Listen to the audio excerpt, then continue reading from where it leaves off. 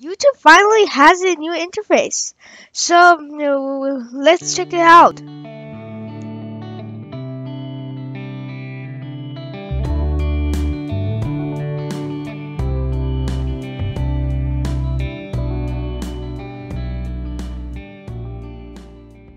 Hello everyone, welcome to the lesson. Today I'm going to show you YouTube's new uh, mobile app interface. So, uh, so actually, the, the, the, first thing I noticed was that actually you can swipe uh, left to right to browse things. Like actually, the middle part is the subscription you made. The the first part was the your uh, videos, and the last part which you tab is your your channel. You can view YouTube videos, but on the, the side, actually a little bit bigger. I will show.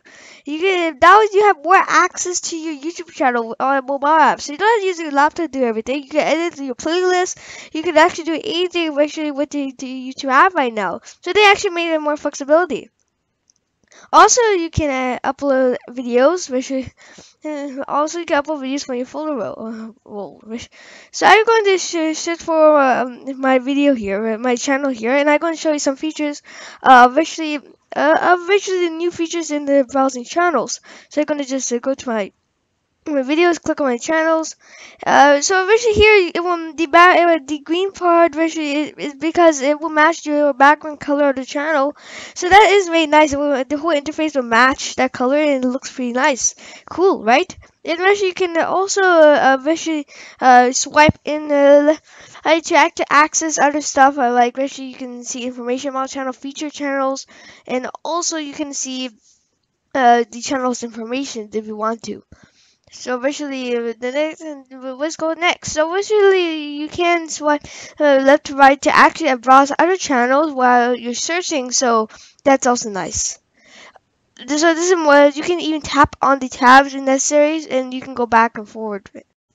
So Google Cast will work normally, and which you can normally cast to your TV or Chromecast.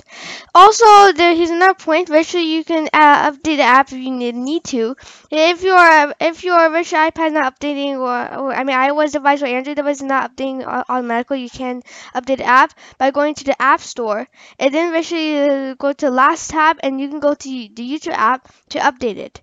Eventually, just press update, and eventually you can update the YouTube app.